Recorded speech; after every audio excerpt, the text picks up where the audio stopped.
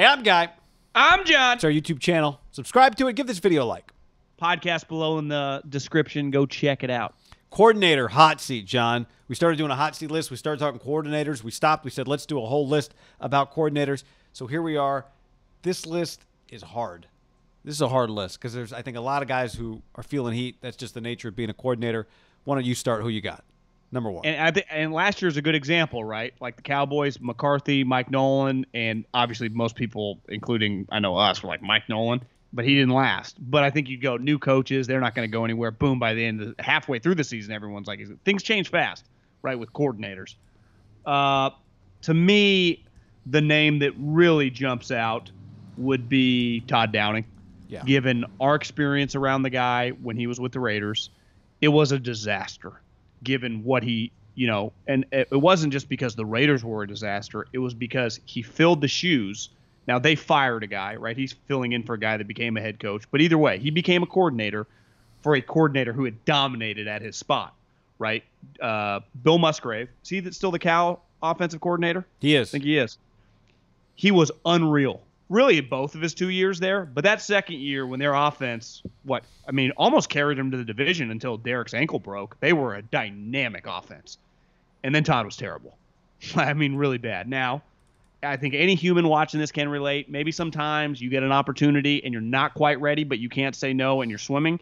You eventually get to do that opportunity again, and you're more equipped. But he has taken over for a coordinator I would say that was viewed way higher than Musgrave, right? In Arthur Smith, they won playoff games with him. Uh, they just were a elite offense, they're, and they're a program. They're a program ready to take the next step. And yeah. didn't and they, they also trade for like. a? Didn't they also just trade for a pretty famous guy? Tom Brady. Uh, Julio Jones. Oh, Julio Jones. okay, I like it. Can't argue. Todd Downing on the list. Number two. Uh, we're gonna make five. We'll see if anybody gets bumped off. Jason Garrett. Jason Garrett. I mean, it, the combination of quarterback, young, developing, ton of attention on him. Uh, New York market already, you know, came in when he got hired. It was underwhelming and it got criticized. I mean, there is no easier recipe to me for coordinator hot seat than Jason Garrett. Like famous, so everyone has no problem criticizing everything he does because they've been you've been talking about him for a decade as a head coach in the league. So Jason Garrett's got to be in the top five how about this guy? Saquon Barkley back from injury. They signed Kenny Golladay, ton of money. Ton of money. They they got screwed with the two Alabama wide receivers got taken before they wanted them. The Eagles jumped them, but they traded back and they took the the little dude from Florida who's good. So they draft a wide receiver in the first round. They got their star running back back, and they paid a lot of money for a really, really good wide receiver in Golladay. Like that's they're invested heavily on that side of the ball. So and their head coach is a wide receiver coach. He's a quarterback at heart, but he's a wide receiver coach for Belichick and special teams. That's something to keep an eye on. I, also, I, I it's like year two for him, right? You don't you maybe you get two years. You don't get more than three if it's not going well. Year two is the year to make a change if it's if it's bad. Okay, I, these two guys are going to be hard to take off the list. Go ahead. Who's who's who's our next contender? I, feel they're they're not going anywhere. I have Vance Joseph, mm. uh, defensive coordinator for the Arizona Cardinals they have invested heavily on defense. Their last two picks, the last two years in the first round, were Isaiah Simmons. Uh, and a lot of my buddies in the league thought he doesn't have a true position, and he, it's going to be you got to figure that guy out because he is kind of a chess piece. Their middle linebacker who just got arrested, they that was the 16th overall pick. So you draft a sweet safety in theory slash linebacker and a middle linebacker, and you bought J.J. Watt this offseason. Now I'm not saying he's making these moves, but that's whether he's on board or not. Like that's they're there. So, uh, and his head coach knows nothing about defense. Clearly, anyone who's followed Cliff's career, that's a lot of pressure on a guy that just has not been a very good defensive coordinator when he's got a shot. Yeah, I, I wonder. There's so much attention on that offense. Um, to somehow he get to fly under the radar. All you know, if but well, what if this guy? They're like, uh, let's say, what if I give you this record, three and six but they're they have like a top five offense and they're, they're losing games 30 to 35. Yeah, that's a midseason that firing. Yeah. All right, I'll put him on. He's number three on the list. We'll see if if he gets bumped off or not. But I, uh, knowing how you feel about him, I doubt he will be. Okay. Um, next up for me, John. Jonathan Gannon. Who he play for? The Philadelphia Eagles. Now, is Nick Sirianni going to be one and done? Probably not but it has happened before. in the in the words of Lou Brown. But to me, when you are a head coach with zero resume, your staff can change in a heartbeat if it goes bad year two. They don't necessarily want to fire you right away year one, but if it goes bad year one, you're and it's in Philadelphia, your staff can change before your eyes blink, and you might not even get to hire the next guys. So, all due respect, Jonathan Gannon. Just Guy, my, I don't my, know, my, it doesn't. Fir- mean... first year in, in Philly, they fired Sean McDermott, so they are not afraid of firing coaches. Well, eh, Sean McDermott, right? Sean McDermott. But then, uh, what's his name? Castillo was a one and done coordinator too, and Andy handpicked him. Yep. There were, there's been a lot of coaches fired over the years in Philly. So I mean, just I, how can he not be on this list? And again, he might be the next great coordinator in the NFL. Just because I'm I'm not sure doesn't mean you you know it's it's not the guy Haberman stamp of approval. But just given the cir- this is more a circumstantial pick than it is that I think Jonathan Gannon's not a good coach. It has nothing to do with that. And they just might not be very good. And usually when you're not good in the NFL, people just get fired. Uh, I have an interesting name because I think this guy's pretty highly thought of when you just say his name. But there's going to be a lot of added pressure, and that's Joe Brady. Uh, they they trade for Sam Darnold. Christian McCaffrey's back from injury. They've invested heavily on offense. And again, there's just been a lot of hype behind this guy, right? If he had been on the right staff, like if he had gone to work for a team that had been in the playoffs last year, he hell, he might be a head coach. But we know these things change fast. What if they just suck? There, I, I think most people think, I know I do, that they're going to be like a very watchable team. Like that's just a team that we're going to keep an eye on. I'm excited to watch.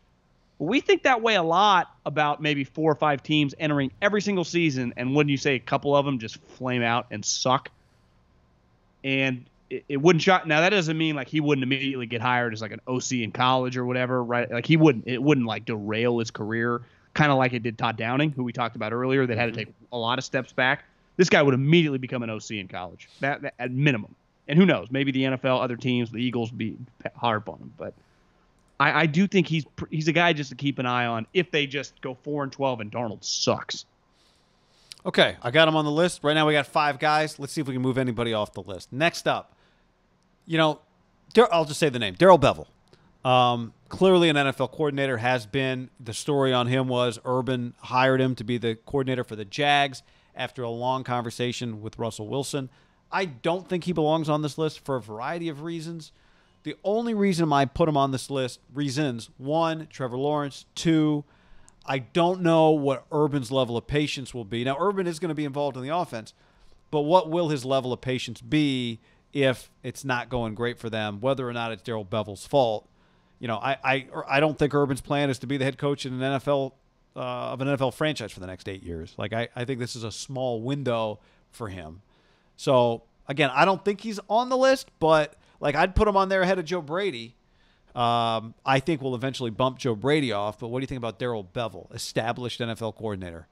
I was just uh, Tony Elliott is the offensive coordinator for Clemson, who turns down jobs in the NFL and college all the time. Right? He's him and Venables. I mean, Dabo's paying a lot he's an elite coordinator and viewed that way in, in the college world, right? So Trevor knows. Now, Trevor, he doesn't look like the guy to complain, but what if he turns on him?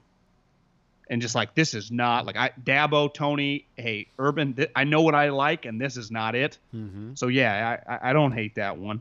I have a name a little like Bevell, but he's having way more success he's just been there a while, and they just, I mean, their their goal is at minimum to be in the championship game. I think definitely just to be competing for Super Bowls.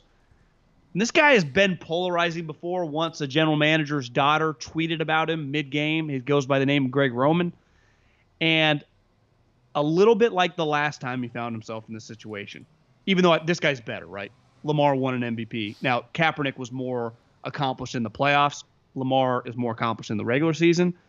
But anytime you get a player like that, the team just what do you want? Like right. draft a first round wide receiver. The Niners did that once upon a time. They signed Sammy Watkins.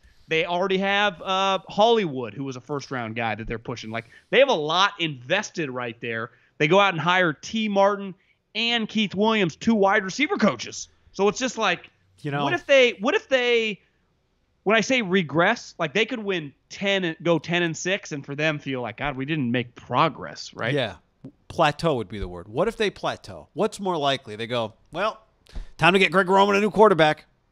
Or That ain't happening. No. Now, I ultimate. I, I this is really interesting, right? Because Har- Greg Roman, Harbaugh's Harbaugh's like this guy, right? They're loyal to this individual. and he has G- earned. He has earned. You know, he's He kicked a lot of cool ass for both guys. He kicked he kicked a lot of ass for both Harbaugh brothers, right? Okay, he really I- did. I, think this is an inspired pick. I don't think it'll end up on our top five, but because I'm going to give you a name now, uh, another one and done situation. Joe Lombardi. you like- love one and done guys. I love coordinators in bad spots with coaches who don't have leverage. Like to me, one and done. This is why Bevell doesn't really belong on the list. Urban's got leverage. Okay, but Nick Sirianni Urban, does not Urban, have leverage. Urban, Urban can tell Shad Shad Khan no. Right. Right. But I think the Chargers situation, while great, also could be a little sticky. Now, Brandon Staley has more leverage than Nick Sirianni, but I know what Justin Herbert just looked like on a terrible team. I know what it looked like. It was incredible. One of the greatest rookie seasons in the history of quarterbacking. Statistically, the greatest. Most touchdowns ever thrown by a rookie quarterback. It was clear this guy was winning the rookie of the year by like week four, week five. And he wasn't Half just the league, half the league was tweeting about him. Like, oh my! Remember Richard Sherman was like, Jesus Christ, what is this up with this guy? and he wasn't because you know why? Because he was great, but he was making splash plays left and right. Like it was, he was doing the stuff that Russell Wilson was doing in terms of like throwing He was- bomb touchdowns. So I got to put Joe Brady on this list again. It's not even a uh, Joe Lombardi, excuse me, not Joe Brady. It's not even about Joe per se.